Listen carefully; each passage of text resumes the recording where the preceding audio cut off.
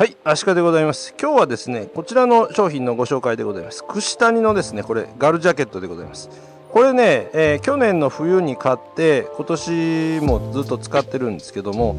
めちゃくちゃあったかいんですよ、これ。で、今ね、自分ね、ウーバーをね、夜ちょろっとしてるんですけども、やっぱりね、瀬戸内海温暖気候であったかいと言われる松山市街地でもね、やっぱ夜はですね、結構寒くてですね、そういう中でね、配達をしてでもですね、本当にあったかくてですね、正直ね、冬の寒さはね、これでね、えー克服したとも言えるぐらいね、あったかいんですよ、こちら。このジャケットはですね、特徴としましてはですね、えーこれがね、えーソフトシェル素材のですね、アウターと、中にね、えーこちらインナーミドラーですねミドラーとのセットになったジャケットなんですけども、えースタイルとしましてもですねこういうふうに一般的な何て言うんでしょうねパーカースタイルのジャケットになるんですけどもね個人的にはねシンプルでそしてね、えーかっこよくて、えー動きやすい。そしてあったかいということでね結構ね万能の商品なんじゃないかなと思うんですね。でこのダウンはですね2ピースになってましてね2ピースっていうのかな。うん。えーアウターとミドラーのセットになっております。だからアウターを脱いで、えミドラーだけでね、え使うこともできますし串谷コネクトっつってですねなんかこう首と袖口がくっつくようになっててですねあの1枚のうん何アウターとして、えー着ることもできるということでございます。でねこのね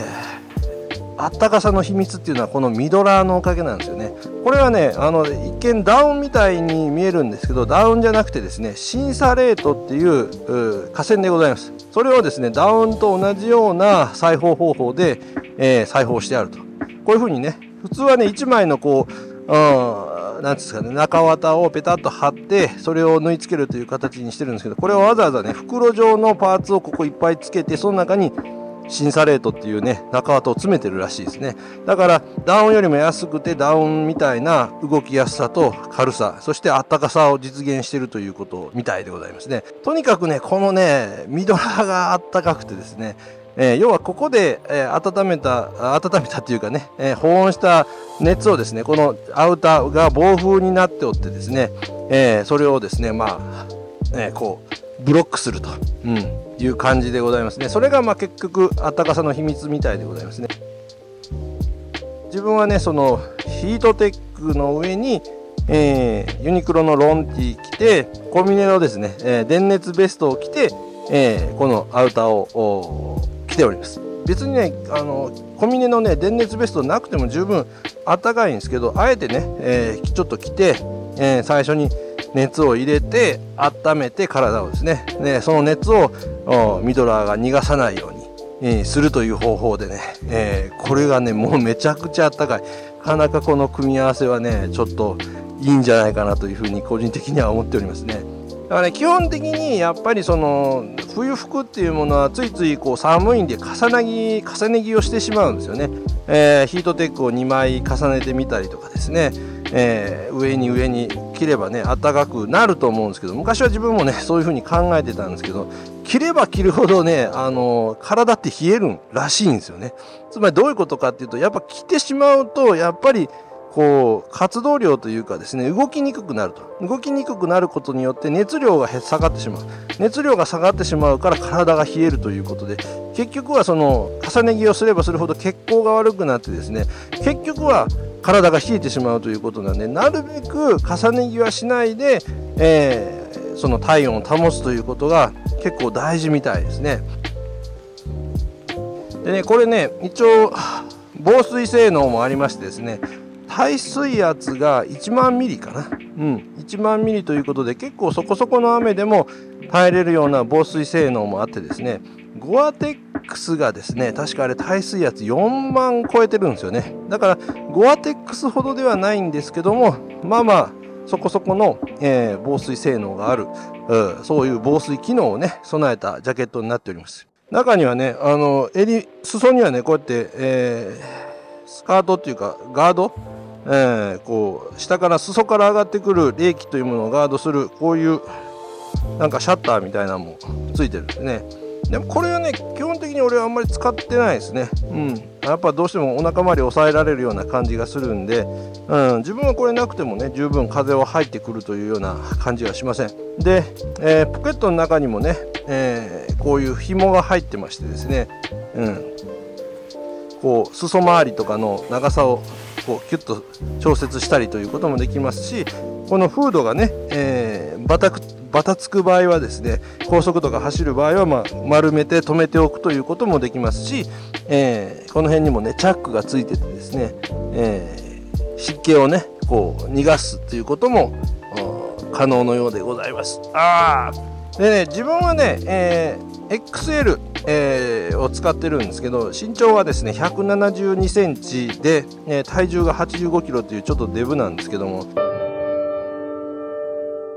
やっぱこれでね自分は中にいっぱい中にいっぱいというか中に来てもね全然苦しくないというようなサイズ感になってます。でちょっとね気になるんですけどそれがね串谷製品は長いみたいですね。うん。で別に長い方がね風が入りにくくていいんですけどもあの冬のグローブとかがですねここでね使えるというかですね冬のグローブってこう何ですかねがここまでが長いというか手首のところまで覆うようになってるんでちょっとねこれとは相性が悪いなと。だから自分はね結局アウターの裾を こうやってね、えー、折って冬のグローブをつけてたというようなあ感じになりますね。あとこの中のねここにミドラーが出てるんですけどここのねゴムがね結構強いというか結構ねここがキュッと締められるような感じがありますね。まあここはね強みにしてるっていうのはここから外気が入らないようにしてるという意味もあるんですけどちょっとここはやっぱり何、うん、て言うんですかね違和感というかね、えー、きついなというような印象がありますがまあ他はね特に気になる点もなくてですね、うん、デザインも良くて着やすくて、えー、あったかいと。もうこれなかなかねおすすめできるアウターの一つなんじゃないかなというふうに個人的には思ってますね。でもう一つ気になる点としてはですねあのバイク用のアウターということで、えー、ガード類がつくようになってるんですけども、えー、ガード類がね、えー、付属してませんだから胸もねここにこうやってマジックテープがついてて、え、胸部プロテクターをつけれるようになるんですけどこれ別売りでございます肘も別売りで、えー、自分で買ってくれということでございます。気になる点としてはまあそのぐらいということでね本当にねおすすめできる商品なんじゃないかなと思いますね、うん、ただね自分のレビューっていうのはグロムで、えー、市街地えー、で高速道路とかね、えー、使わない 125cc の速度域での話なんで、まあ、これをね真冬の高速道路で使ったらどうかというと言われるとちょっとそこはわからないんですけどもまあ市街地で、えー、気温マイナスに近い気温で走っても全然あったかかったと。去年ねちょっと買って本当に良かったんでねどっかでレビューしたいなと思っててとりあえず1年使ってみてどうかっていうのをね、えー、試してみてたんですけども。